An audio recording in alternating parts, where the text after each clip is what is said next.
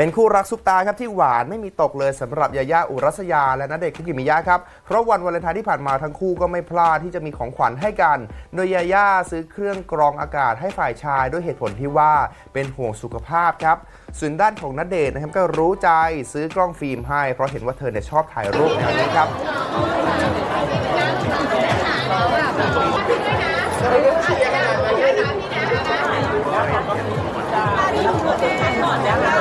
เป็นกล้องฟิล์มค่ะ เป็นกล้องฟิล์มที่แบบคนที่เล่นฟิล์มทุกคนจะรู้ว่ากล้องเนี้ยถ่ายรูปสวย เคยบอกว่าเอ่อ